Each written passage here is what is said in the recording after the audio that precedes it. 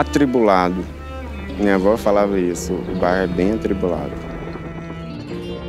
Bandidos invadiam a escola, que assustavam muita gente. Há muito tempo atrás, ela era muito mal falada. Quem olha hoje nem imagina quanto era assim.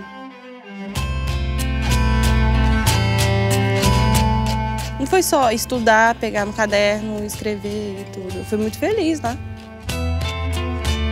Esses meninos, hoje eles têm a ausência, a falta. Eles sabem que eles podem mais. É papel da educação colocá-la para ver o mundo. Tudo que eu puder fazer para poder me motivar, eu vou fazer. Eu não posso chorar.